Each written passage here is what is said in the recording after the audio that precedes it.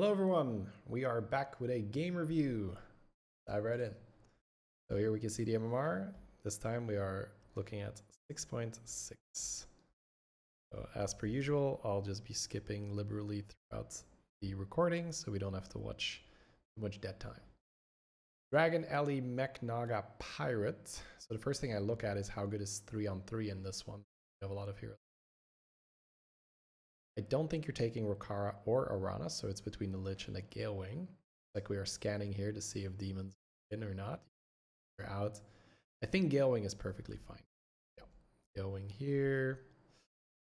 Okay, looks like we do have a lever that does uh, affect things. So this is very standard. We're going to pick a card and we're going to take Eastern Plaguelands to discover a 3-drop. Hi, we here. We're fighting Phelan. Phelan 2-drop. See if we take damage. Don't. All right, so so far all very very standard. Nothing out of the ordinary. Let's uh let's have a look at our shop and then we probably just go to 3 here. Or maybe not. wow, this is interesting. Okay, so we don't have beasts, demons, or undead. That's a golden corpse. So you double buy now, you discover a 2 up next turn, you freeze, you buy the other one, you discover a 3, or you get two good minions, and then you level buy and get a 4 drop after. So if it's two corpse refiners here, I might still level. But because it's three corpse refiners and you're guaranteed to triple and you're guaranteed to get a body that's more durable, so therefore survive and get procs, I think I would take the triple here. I can understand why you're going to three because that's the standard. And whenever you're in doubt, it's easier to go with the standard move. So that's not something crazy here, but I mean, a golden corpse refiner, yeah, I, I, I would definitely do that. And then figure out a way later how to utilize uh, these buffs. Oh, wow. Okay. Nether Drake, Felemental. Wow. Yeah, wow. This is a good start. I, I mean, Felemental is good here. I'm looking at the Nether Drake. So Nether Drake would give you a target for your Divine Shield. Elemental. Huh. I'm actually not sure myself. I'm evaluating it. I'm going to skip ahead so we can see what's in the next shop here. Don't want to keep you guys waiting too long. I mean, at the very least, this is amazing, right? Like Felemental, like I think you definitely got rewarded for power leveling here. I'm just thinking with the um, with the Nether Drake on the board, you have a target for your Divine Shield, and you also get the option to roll a Smuggler. But I think I like this more because now, if you roll Taragosa, it's it's a filthy, filthy. I think we're looking at our opponent here, seeing if we are ever wanting to level. So we're considering buying or skipping the Cyclone. I think buy Cyclone roll is fair, especially with this uh, 3 and 1 buff. Ooh, okay, this is so good. We can now evolve our 3 and 1. Yeah, this is getting so outrageously good. This is such a high roll start. Okay, let's skip ahead. So let's see how this is uh, utilized. Now, I, I still think on average it's probably pretty good to get a gold, golden corpse refiner, but I can't say that we were exactly punished for leveling because we started off with a Felemental, we're hitting a bunch of divine shields, we got an evolve guy for our 3 and 1, so that's beautiful. Skip ahead a little bit more, looks like we're losing by just the golem, that's unfortunate. And then... So we get extra money this turn. So Galewing used to be very, very straightforward here where you would always level and buy a card. Now, because with this curve you get two extra gold, you can either cycle a minion out of the shop or just roll and get a better card. I think here you definitely roll and get a better card. We did hit the Taragosa. Okay. That is still very good. You're you're definitely buying that here. That's that's too good. All right, buy that and roll. You could have cycled the uh, scout first, actually. I think I actually like cycling Scout first because you can hit Elemental here and bank a free reroll. Um, sell, sell, and then yeah, yeah, yeah I like that because you can then because you sell, you buy it, you go to one gold. You sell the main body, you go to two gold. You sell Elemental, you go to three gold. You keep Droplet in your hand. You have a free reroll banked. And you play. Yeah, I like that more than just trying one roll. But I, it's a minor thing. It's not a big deal. Okay. Looks like we're just to skip past this. So from this position, you can do quite a few things. I think the the best play is to just level because we're strong. Because we're um yeah, this is this is definitely a high roll start. Our opponent has a giant lava lurker and we don't even care, which is the best part. Like giant lava lurker on the other side and you don't even also there's a ghost in the lobby, so be very yeah, I'd have to check them what the millhouse is doing. So leveled here as well. I think here I definitely like thumbs up the millhouse and then try to level. But this smogger is it's very nice because you get a free reroll, you get a buff on the cyclone. But then you have to ask what else are we doing here? And so right now they're just checking what's in the lobby. I'm gonna skip ahead a little bit to see what they're doing, right? Okay, looks like we are gonna buy smogger. We're buffing that one instead of the divine shield. That's interesting. There's Peggy here. I think if you're going to stay on four, you may as well buy Peggy, but it's it's tough because your board is looking pretty good. It's like hard to replace something. So that's why I'm somewhat partial to the level just because you can then hit Chronormu and because our uh, because there's a ghost in the lobby, losing the fight isn't the end of the world. The Rip Snarl is interesting here. I think you sell out of the faces and just get the Rip Snarl. Because that's uh, that's buffed as well. Looks like that's what we're considering. Okay, cool. That's the play. So this isn't bad. This isn't bad at all. Looks like we missed a roll at the end, but that happens. Millhouse bought some grease spots. Yeah, we're, we're definitely stronger. A lot of damage, bonk. But yeah, this this now means that Millhouse can get the ghost and we don't get the ghost. Yeah, now we are gonna level. So essentially what could have happened here, I want to point it out, is let's say we had leveled last round and now you hit the ghost. You just level again and then your hero power here discovers a six drop because you win the fight against the ghost anyway, so you may as well tier. So I think because Chronormu is in, because Hogger is in, and because you're fighting against the ghost, I would have been okay not going for the Smogger line there.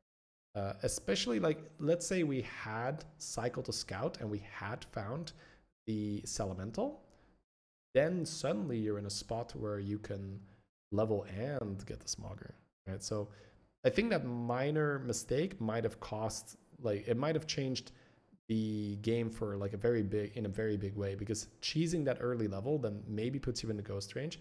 And then like you could just go up and pull a six drop from the hero power. Yeah. But I mean, we're in a good spot, right? We had a crazy high roll start. This was, was very, very good. Uh, we roll here. Not much. I'm guessing we're just going to keep rolling. Really not much. Oh, we're buying the pip. Okay, I think what happens here is, yeah, this is again, I call this like good player problems. This is just, this is programming. You have two gold left, you buy, no matter what. like, you can't waste the gold, right? So you just have to sell a card and then buy a card. So buying pip is not bad because it's a pair and it buffs with the Rip Snarl. But the Amber Guardian gives plus two, plus two to a Divine Shield, and you can just roll into Chronormu, you can roll into Hogger and all that. So I would definitely want two rolls here instead of buying the pip, but I understand why they buy it, right? Is this programming of I'm down to two gold, that's where you sell and buy. That's just a pattern. We've done that over and over and over. You're conditioned to do that. So yeah, that's what you're going to do. And for the most part, that's right but sometimes it's just better to roll, right? Because you're really not making a super meaningful upgrade, in my opinion. All right, I'm just skipping past these fights a little bit. We are pretty damn strong. We also have the win percent enabled, so you can kind of get a feel for how good we are. Here we are. Um, guessing we're. Wow, that's not a bad setup for Nomi. Yeah. it's quite interesting, right? Because there's a Sellemental in the shop and we already have a reroll guy.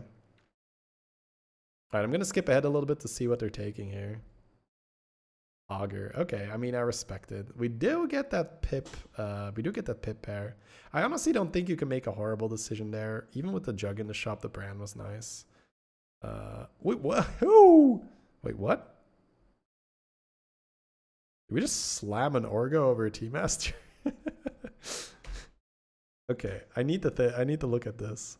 So what is is it because we have a Peggy? We're like, yeah, let's go, spellcraft in the hand. Because it feels like Theo, especially in this meta, is just such a it's almost like a cheat, right? Where you're like, oh, what am I gonna play? What am I gonna play? Oh, thank God, Theodore, I can just do that. At least that's how I feel a lot of the time. When I triple into a Theo, there's just relief. It's like, ah, okay, I could just do that. I can just, you know, buy good neutrals, do my buffs. So we have Divine Shield Dragon on the board. We have some pirates. So something that could also happen here is that we just look at our board and be like, like, eh, do I have good buff targets? I got a lot of pirates, but it's totally fine with Theodore at the start to play like three pirates and then two other types, and then you just sell out of them when you hit a Chronormu, for instance. Yeah, anyways, well, we'll see how the game goes here, but I, I think this is the um, probably the biggest disagreement I've had so far is let's not because I mean we just sold it, right? Like that's that's our six drop, and it's just plus one plus one and get it. Yeah, yeah, it gives me a bad feeling here. So the corpse refiner I think was pretty good, but we got very rewarded for skipping it. Here, I think we're just being a little bit too like, okay, I have Hogger, I have Peggy, the blinders are on, right? Blinders are on. I don't want to get distracted by anything else. Pirates it is. And and I don't think that we needed to do that. Like right now we're running into that problem of like, ah, the time is ticking. I guess I'm just going to cycle, get the spellcraft. And then we're holding that in the hands. Yeah, we're selling it. Okay. Ooh, yeah, this is, uh, we can see that here. Now, obviously, I run out of time all the time, you know, thinking about the play. It can be very difficult to, to get the moves in in time. Uh, this mouse here I don't like. that's fine. We're moving. So, yeah, that's that's probably the um, the big the big disagreement I have here. That we could have just had a Theodore and then we have a perfectly fine game plan. And if we hit Chronormus, suddenly it's extremely smooth. We sell all the additional pirate stuff, trade it all in for Chronormu, and then um, just have some types with a Theo. But we'll see where we go from here. So yeah, that that's my thing that I'm thinking about right now is that we just we put the blinders on a little bit and said, okay, I'm I'm pirates no matter what. And that's obviously a all right, so we're selling the Wrangler immediately to then get the free reroll. I don't love that we insta sell the ball because we could hit a Chronormu. So whenever it's a dragon lobby, I don't like to sell until I have to. That's a big thing, right? So usually it's nice to keep your options open anyway. But when Chronormu is in, there's there's just a big punish for selling stats off the board when your next chop could have Chronormu. That that minion is just so game warping. Yeah, what's happening here? We just have gold left, I guess. We're three gold. Yeah, I mean, again, it's...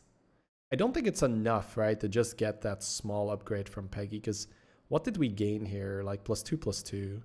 Rolling three times for Chronormu, for Hogger, for triples into Greta. I think that's that's way more impactful. So, from what I've seen so far, I think it's you know, I, I talked about it already, and we'll skip ahead a bit. You guys can watch the fight as I'm explaining. From what I've seen so far, it's like good player problem in that you have this programming of, okay, whenever there's three gold left or two gold plus the gold I'm getting from selling a unit, that's where I will make a play no matter what. And that's correct in a very large amount of cases. That's going to get you to higher MMR for sure. But then at some point, you also need to realize okay, why do I do that? I do that so that I get stronger overall. Use my gold. If using your gold really doesn't get you much, like it's actually stronger to roll and set yourself up for a stronger turn in the future. So, not a super big deal, but I just don't feel like we're getting enough bang for our buck. From the position we were in, our board should be disgusting by now. All right, the insta insta sell. I do like this. I do like this. What this tells me is that they know that okay, Chronormu is bullshit. I'm pretty much always selling. Let's go. The Taragosa sale might be a bit much because it already had Divine Shield. um, but yeah, this this is good conditioning. See a Chronormu, sell your board. I like the HP on the Leroy. I like that too. You, you can tell here that it's a viewer. I feel like it's it's very very similar to how I how I play. It's like, all right, sell board for Chronormu, give extra health to Leroy, go, go, go. I'm always doing that. Okay, if we had a spell here, this puffer would be a nice thing to end on. Uh, but yeah, okay, I'm gonna skip ahead a little bit, see what they're doing. Okay, them. I guess, okay, so what they're thinking is Leroy is a problem. So let me just play taunts. Are they going to buy the 1-4 or just like an Elise? But again, right, I, I feel like we're getting that good player problem here of I've hit a certain gold threshold, therefore I will move. And this time it was the 5 gold threshold here. So there's a, there's a number of little rules you make for yourself to play the game and make it easier. So 2 gold left is sell a unit, buy a card. 5 gold left is cycle a unit, buy 2 cards, like sell one off your board, buy 2, or cycle something from the shop and buy 1. So these all these little things that you like shortcuts. But if we look at this board, how like I, I can kind of understand the module for Leroy, right? So fine. Like here, I'm not even gonna say that it's wrong, but I think we're definitely seeing that those uh, those programmings. So like, okay, this is this is how I play, this is how I do it. Rolling two more times to find a, um, I guess Glowscale doesn't do that much because we're already shielding. So it really would have to be Leroy or maybe like a Cyborg Drake or something. So I think overall, fair. Buy the module, try to tank the Leroy. But I, you know, that's just feedback where I can see like there's these very strong like programmings of like, okay, I've hit a certain gold number. Now I got to do something. And that's not always correct as we've seen so far. So yeah, Chronormu in the back, I like that. I think the module can move a bit more back. I don't think I want to attack with the taunts, but yeah, we'll see. All right, here we go. Into the fight. We've sold our whole board for one unit. Let's see how it does. 100% win rate. Excellent. Now that Leroy is beautiful here, right? That Leroy is beautiful. All right, here we go. Well, not much, not much to watch here. Sell whole board for one unit, 100% win rate. Yep. That's how Chronormu rolls. We found a Cyborg Drake. I'm kind of okay with that here. Helps fill our board. Gallagrunt at four dragons. Can we easily level and buy that? That's probably what I'm looking at right now. I'm going to skip ahead a bit. It's six? Yeah, we can easily level by. Ooh, okay. So the reason why I'm thinking about this straight away is, well, Nadina, right? Especially if you're going to have Cyborg and then another Cyborg and maybe another, etc. Uh, I guess we are thinking about rolling for Elise, but especially against the Ghost, I'm pretty happy with just level buy and then you can roll into Queen, you can roll into Nadina and all that. Uh, but, you know, we can roll into Leroy as well and we're going to get a 6 drop from the Elise. So again, rolling is fair, but I just think you can get away with level by the Cyborg Drake. Gives you a decent power boost, and then you'll uh, you'll have an option to roll into. Uh, well, actually, I don't even know if the hero power is popping here. Ooh, I would just buy the other gambler here because I feel like yeah, maybe she's really afraid of the ghost. Oh, here she. Uh, okay, so we really want that monkey. Okay. So I think here we're just not using enough uh, leverage, right? We have a position where we can really uh, put ourselves in a spot to try and lock the game uh, into a win. Where if we can get queens, extra Leroy, maybe Nadina, we can really let this Chronormu carry us. Whereas now it feels like we've sort of wasted our our ghost turn where we're now uh, you know rolling to make this Elise. So instead of going to six, we're spending five gold to roll and discover one six drop. Whereas on six, we could just roll into the sixes. So yeah, I'll skip ahead a little bit again, but uh, no, no, no, no, no, no. I mean, we're on 22. We'd never. Oh, I mean, 2.6% of the time we do die, but a bit. Hey, we didn't die. Cool. All right. So yeah, these games are all about me just reviewing the players. So I upload plenty of you know content that is about hey just watch the fights watch some cool stuff but here you know if it's if it's not a very exciting fight just a ghost fight it's kind of whatever all right we're going into the finals so let's actually go back i think there was a quick scan of the opponent here right nagas i think sorry i missed it again guys i'm a boomerang yeah seven naga okay cool so that tells you what the opponent is bringing to the table right the opponent is going to come at you with stats for the most part so there is a good chance that we are going to see a high health Myrmidon, and then Divine Shields, Athissas, and buffs. I think we're looking right now like, okay, now that I've hit the second Leroy, what else could I hit? Do I need to evolve, try to YOLO a 6 drop?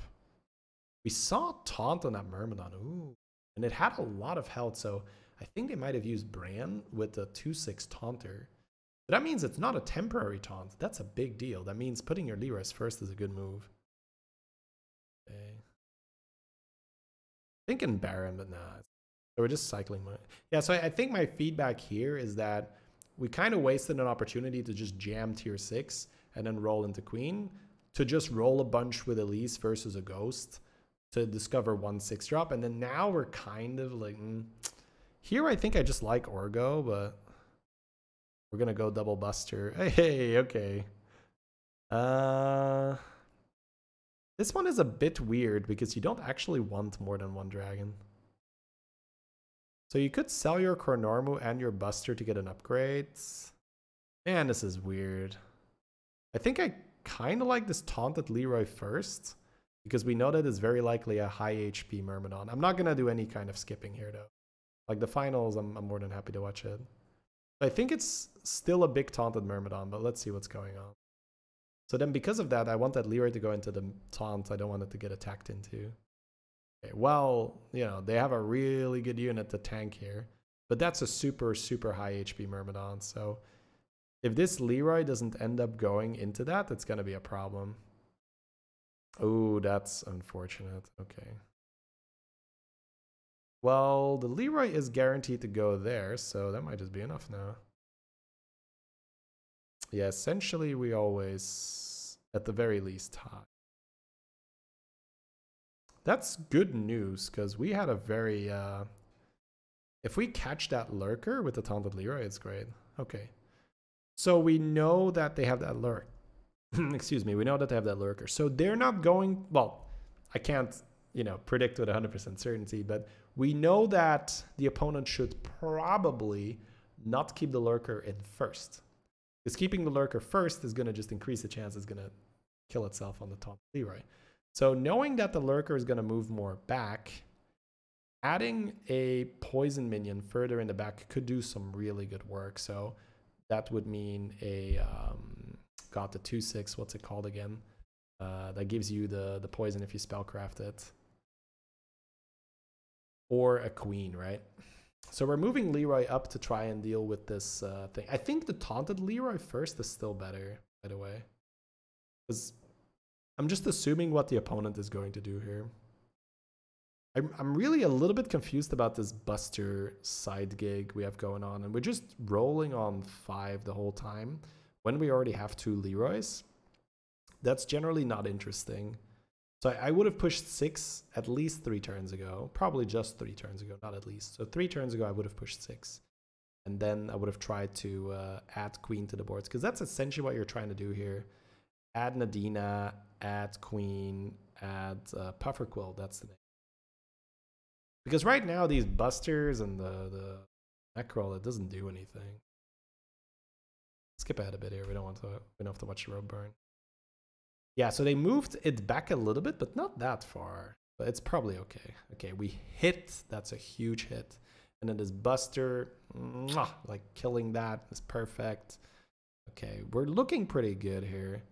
We didn't get that much shield value, but I think we um, we're very likely to... Are we very likely to kill? Oh, that was a good hit. Now we're pretty likely to kill. Okay. All right. That is... Uh, that is a pretty standard end game board right now. Chronormu, two big Leroys, or big Chronormu and two Leroys, sorry.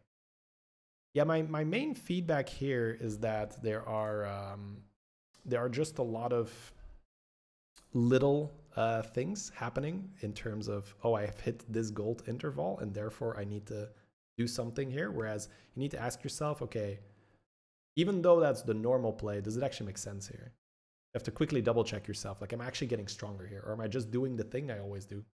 Uh, once again, the time it's going to be good. That's why you're doing it all the time. But in, in these few cases, I was like, eh, probably better to just roll.